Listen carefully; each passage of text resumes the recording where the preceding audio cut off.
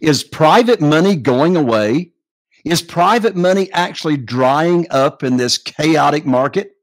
Is the biggest opportunity in real estate right around the corner? Well, if so, how do you prepare for it? Well, my guest and I are going to answer these questions in today's episode. My guest is James Prendamano, and he has used private money to close over 1,500 real estate deals. He's used private money to fund residential, apartments, and mixed use buildings. So, if you're concerned about getting funding for your deals in today's chaotic market, don't miss a second of this episode. Let's dive in right now. If you're a real estate investor and are wondering how to raise and leverage private money to make more profit on every deal, then you're in the right place. On Raising Private Money, we'll speak with new and seasoned investors to dissect their deals and extract the best tips and strategies to help you get the money, because the money comes first. Now, here's your host, Jay Conner.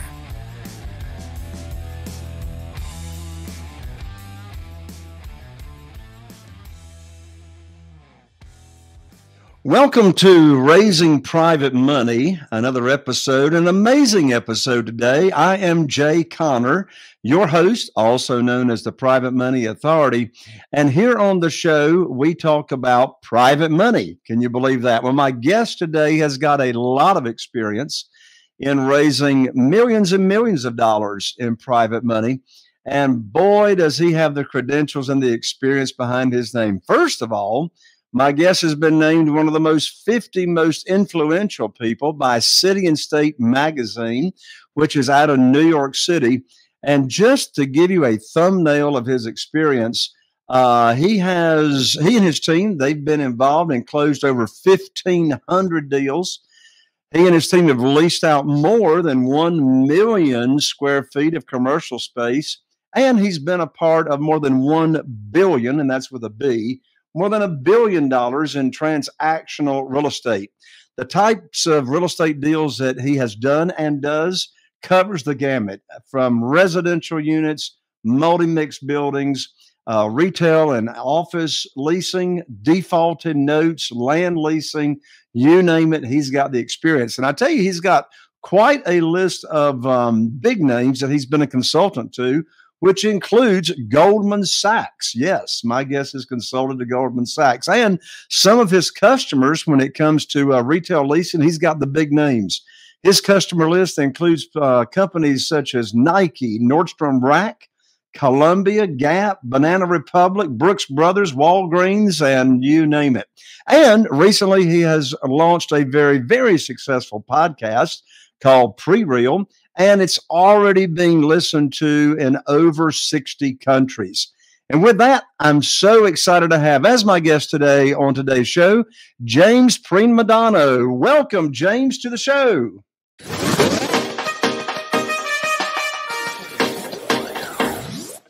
Well, James, you've got all kinds of experiences we just, uh, you know, talked about. And, um, you know, you've got a lot of experience raising private money. And since this is now called Raising Private Money Show. Uh, let's talk about private money and then we'll get into what your crystal ball says about this crazy, chaotic market uh, that we are in and what you see coming around the corner.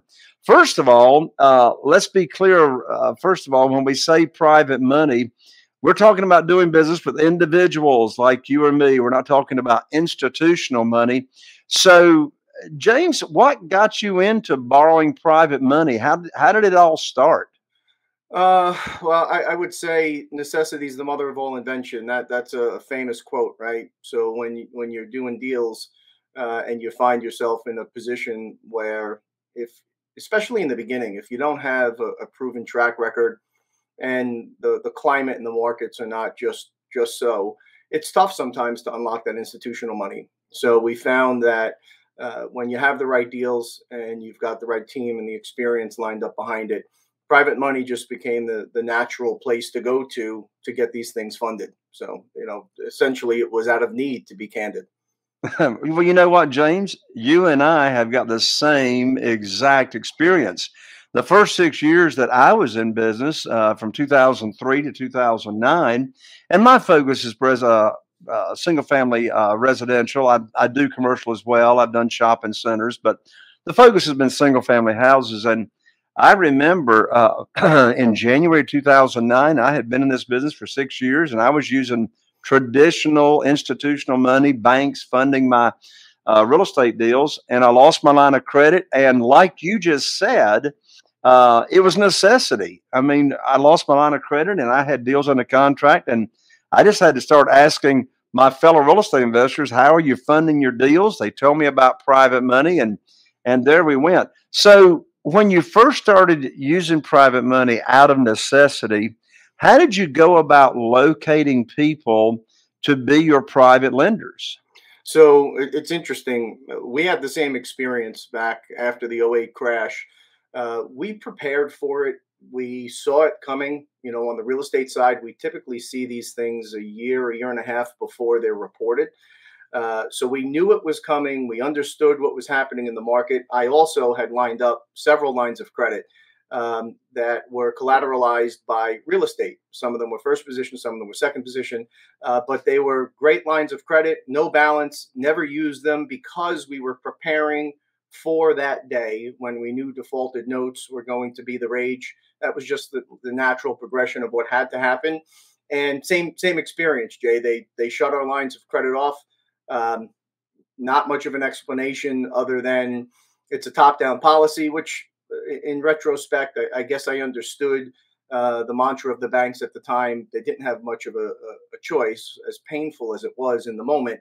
Um, so here we are, and we're we're looking to transact. We're looking to to take this next step in our careers and, and move a little bit uh, into the equity side more while we were building the brokerage business.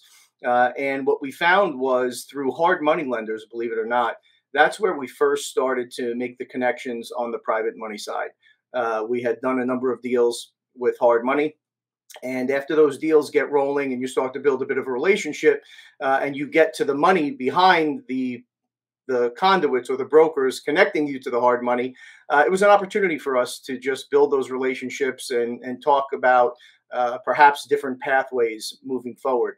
Uh, so for us, it was again the, the, credit lines were shut, and it was uh, we still had great business deals, deals that made all the sense in the world. And after taking down and a number of of hard money deals, I mean, we're talking 16 plus two, uh, 18 plus four. You know, these were expensive, expensive deals. Um, that's how we initially met some of the investors, and some of them we had in our book of business on the brokerage side, but we hadn't explored the private money option. Uh, and you know the deals were still there, so we said let's let's just start opening the, the discussion here and, and start communicating and talking about opportunities that that we have in front of us and see if there wasn't a better way for us to do this than the hard money. You just made an excellent point by mentioning the kind of interest rates and points uh, that you were paying for hard money. Uh, I think you mentioned uh, 16% interest, and then you had points or origination fees of either 2% or 4%. And just put that in contrast to private money and the kind of interest that we pay. Uh, you know, right now, I pay uh, my private lenders 8% in first position, uh, 10% in second position. And, you know, one question that I'm getting in this market is well, Jay, do you see interest rates going up? uh, as far as what you're going to be paying uh, private lenders since all the rest of the interest rates are going up? And the answer is no. And here's why private money interest, the amount that we pay, is dependent on what we offer, right? So, you know, the traditional way, James, as you know, of borrowing money for real estate is you go to the, you know, tradition, you go to the institutional money, you go to the bank, or you get on your hands and knees and you put your hands underneath your chin and you say, please give me a mortgage. Please give me a mortgage. You know, please fund my deal. And, you know, in this world of private money that you and I are talking about, is we're not chasing, we're not begging, we're not selling.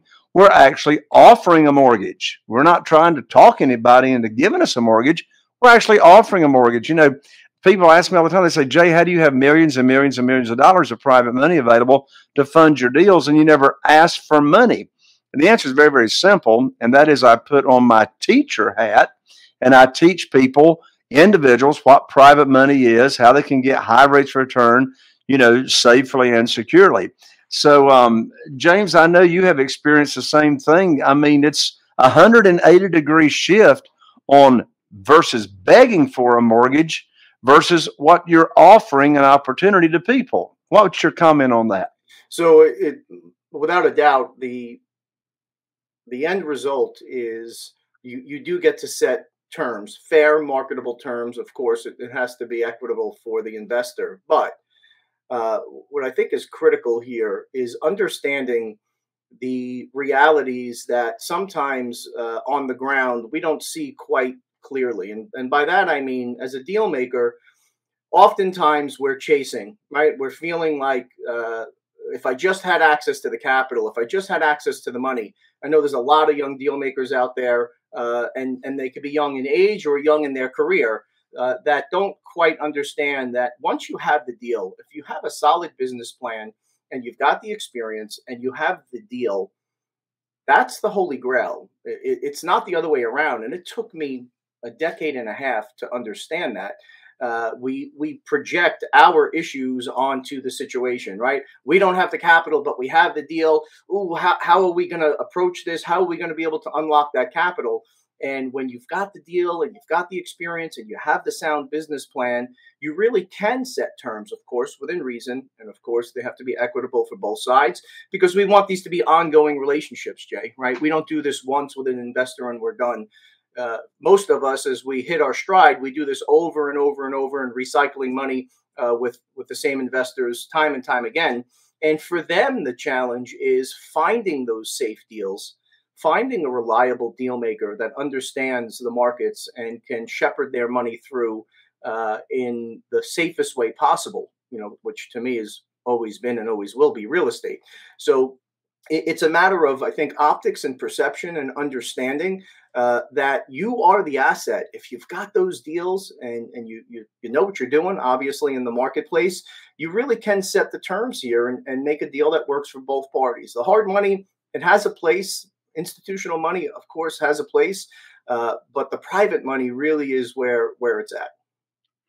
James, what kind of an impact as far as profit? In other words, what kind of profits have you made on deals because you had the private money and the relationships in place? And you know, there's a keyword right there. A, a synonym for private money is relationship money. Either relationship that you've already got in place or you know you learn how to start growing your network so you have additional new relationships that you can nurture and start doing business with. But just what kind of an impact has private money had on your business? It's impossible to quantify candidly. You know when when you're doing deals and you're you're you're taking the hard money stuff uh, and again there's a place for it but when you're you're proforming your deal and you're looking at 18 plus four, I think, is the highest we ever paid. And I remember it was a, a savvy, savvy uh, investor had said, well, you know, usury is 24%. I'm doing you a favor here at 18 plus four.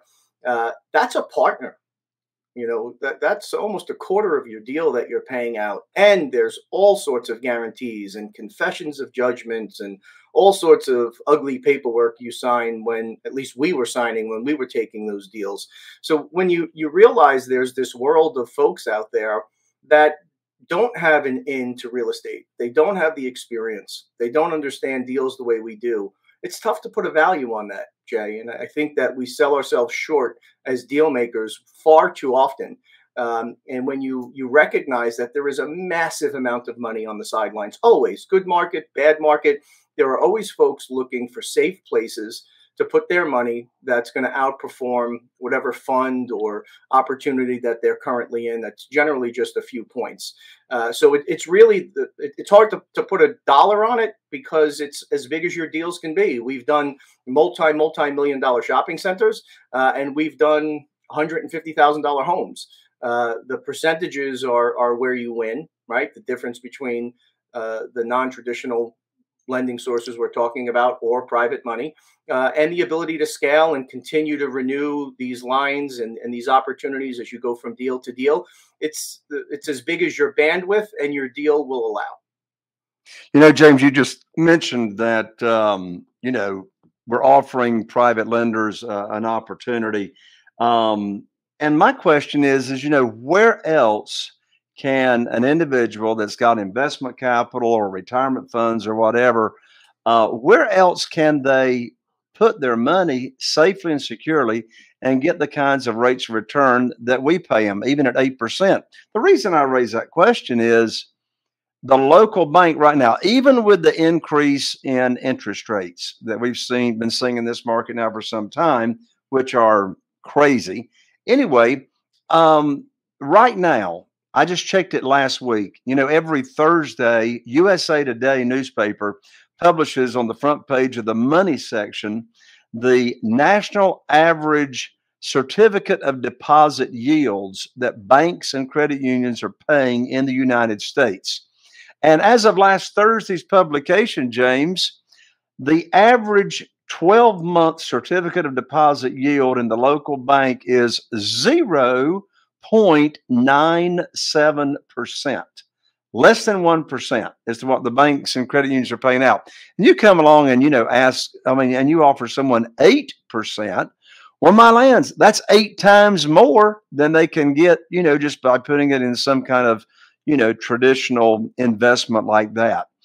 James, what advice would you give to um, someone that's that's a real estate investor? Maybe they're new, maybe they have never raised private money, and they're looking to raise private money. Given your experience, how would you? Uh, what advice would you give them on how to start? Do you want my honest answer? Speak to Jay. Sure. I tell you, I'm 25 years in, and I learned more in an hour with you than I have in quite some time. So uh, I really enjoyed our conversation. But uh, short of speaking to you, uh, I would tell them that uh, mindset. Again, uh, I don't mean to harp on it, but I really think that it, it's so important there are some opportunities now as as rates are rapidly increasing where you can go get three three and a half percent from your bank if you tie your money up in, in different opportunities that they're offering.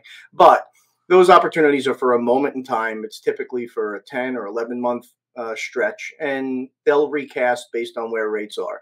This is a cycle folks. It goes up and it goes down and it comes back up and it goes back down. We forget that when we're in it because the stakes are so high. I get that. Uh, but it's important to keep an eye on tomorrow and understand what tomorrow is going to look like. And it's important for your investors to keep an eye on that also. So uh, if if we start to get pushback from investors saying, "Oh, I can go get you know three and a half or four percent in in the bank and, and tie it up for ten months," absolutely, God bless, go do it. But when you you call me next time, you won't be at top of the list, right? This is something we've done through good markets and bad. Uh, it's something that we've been blessed and we've delivered on time and time again. Um, and it's you know build those relationships, understand you're the value, be fair uh, in your in your offerings to your private investors. Make sure that you've got a rock solid business plan. Uh, make sure that your your fiduciary is in the right place. That their money had had damn well be as important, if not more important, than your money in any transaction. That, that's the way we've always looked at it. We've been very conservative, and and you can be conservative and do really really well. Well, James, I appreciate the shout out on uh, telling uh, telling them to talk to Jay if you want to start out on private money. So let's give away a, uh, a fantastic, valuable gift here. I'm so excited! I just finished writing uh, my brand new private money guide which is called Seven Reasons Why Private Money Will Skyrocket Your Real Estate Business and Help You Build Incredible Wealth. This will get you on the fast track to private money and put you in a position very, very quickly to where you don't have to worry about on missing out on any deals or opportunities because you didn't have the funding. You can download this private money guide for free at www.jayconner, and I'm with an ER, not an OR, www.jayconner.com forward slash money guide. That's Jay Conner, J A Y C O N N E R dot com forward slash money guide. And that will get you on the fast track to private money. James, um, I briefly mentioned, but I want to dive into it with you now. There's a lot of um, concern. There's a lot of fear. There's a lot of anxiety out in the marketplace right now. And um, rightfully so. I mean, we've got inflation at a 40 year high, and that's using the rates that the government has put out, which I do not believe. I think inflation is even much higher than what's being published. Um, you've got mortgage interest rates that have skyrocketed. Um, and of course, I get it. I mean, one of the one of the only ways they can control inflation is to slow down the spending by raising interest rates. Um, you got real estate values that have shot up 25% in one year, and now this year it's pulling back. Um, what do you, where do you see this real estate market going, uh, say through the rest of this year and right on into uh, uh, through 2023? Is there cause for concern? What do people do to uh, prepare themselves in order to invest the wisest? Yeah, so there there's cause for concern if you're not prepared. Um, if you are prepared, then this this where's it viewing this as the greatest buying opportunity of our our life. We think this is going to be uh, a, a bigger opportunity than we saw through 2008 up to 2010, 11, even some of 12. Um, but you've got to be prepared, right? The, the the key for us is sustainability, making sure that you can get to the other side. Uh, we started to caution clients a year and a half, two years ago. If you were going into uh, all the rage was the multifamilies then, right? How many doors did you have and how many deals were you getting invested in? And, you know, I've never seen a pro forma that didn't look good on first blush. And as you start to pour through these pro formas and you start to really take a deep dive, that's where you can start to see some of the cracks and, and some of the weaknesses there. Uh, the ability to secure debt at a fixed rate for a, a, specified period of time that you believe will get you to the other side of the rainbow is the key. For us, uh, we believe this is a cycle. Uh, we yes, this is going to be one of the, the, the more difficult ones to to get through. Uh, but again, that that breeds opportunity. And if you have access to capital uh, and fixed rate debt for a significant amount of time. Significant is three, four, five years. We believe that comfortably gets you to the other side of the rainbow, if you will. Man, this is this is this is it. This is the time that you should be doubling down. At least that that's what we're doing. We're doubling down on the opportunities here. When we spoke on on my show, Jay, I, I had said uh, off air before we started, I didn't know if there was a better time in history to have you on the show because finding this alternative for financing um, is going to be everything. The banks are going to continue to tighten up. We think the bigger banks are going to sit on the sidelines for a bit. The small to mid cap banks are going to experience a, a, a, bit of pain as those deposits start to drop. The, the, the COVID money has burned off. Um, those deposits start to drop in the banks, yet the banks still have that outstanding debt. And it'll be interesting to see how they, they navigate when those notes come due. A lot of one, three, five year money was issued two and three years ago that's going to put you dead smack in the middle of this thing uh, and you're going to be seeking ways to refi out even if you're a performing note even if you have a performing asset.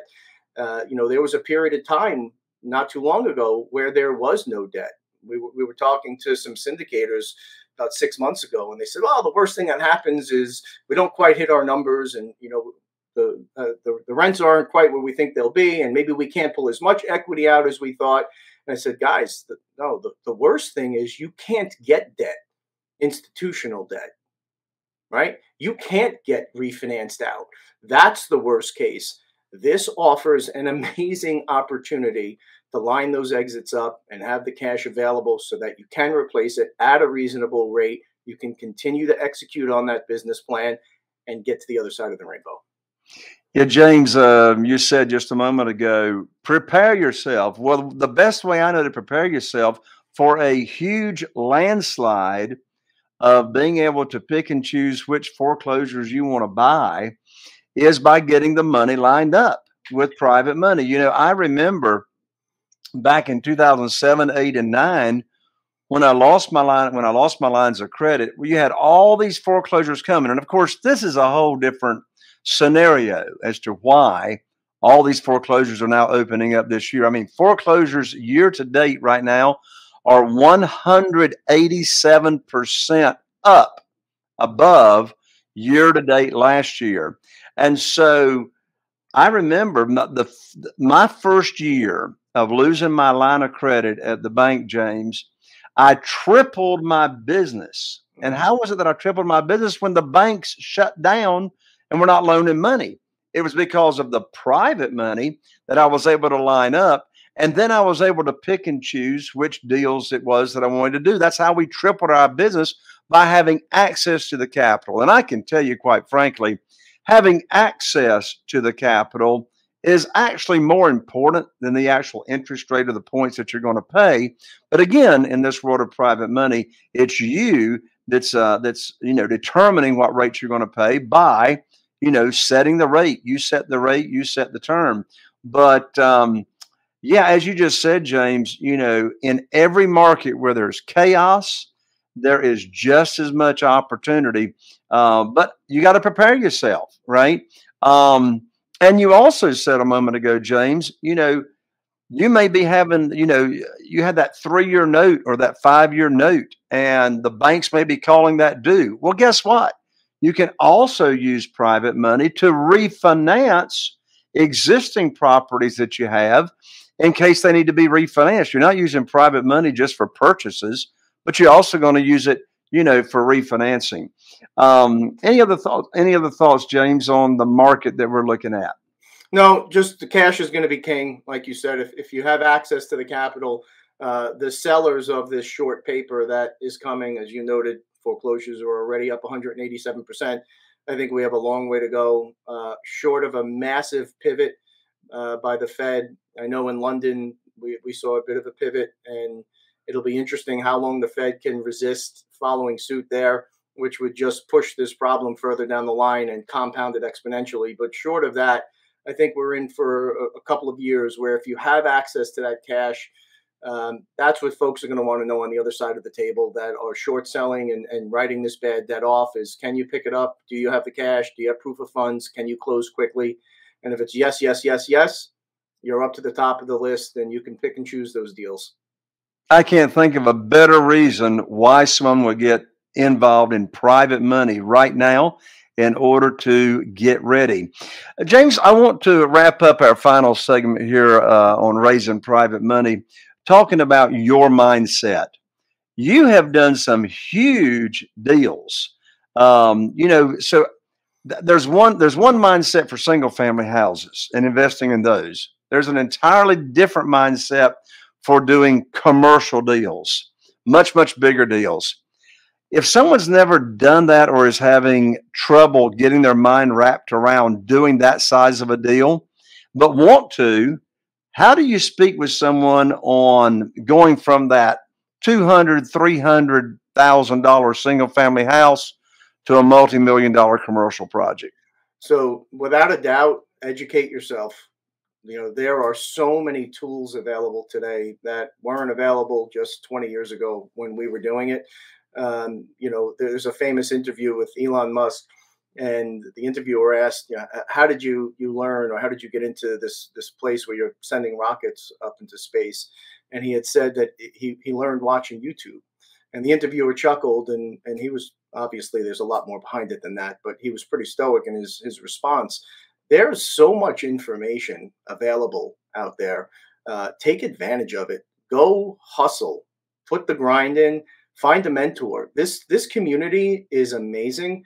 If if you reach out to 10 investors, chances are you're going to get two or three of them to sit down and have lunch or at least jump on a Zoom and help you out. Uh, there's a lot of good folks out there that want to see, you know, the next run of people to get in the game. That's the way it works. Pass that knowledge on. Uh, so I think that's the single most important thing.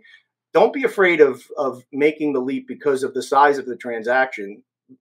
Just make sure that you're educated make sure that you understand and maybe for the first few you have someone in the deal that's been here before that understands what's around the corner that understands how to build a as bulletproof of a model as you can to get to that other side of the rainbow.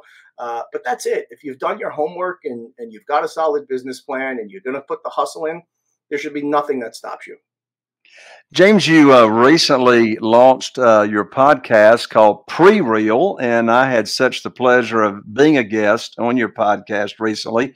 Uh, your website is www.prereal, that's P R E R E A L dot com, prereal.com. Um, James, talk a moment about uh, this podcast, what the focus is, and I mean, you're already, you know, being heard in over 60 countries now. Uh, why did you start the podcast and um, and talk about it? So for us, it was uh, a couple of things. I was very uncomfortable doing this, to be candid. Uh, terrible fear of speaking.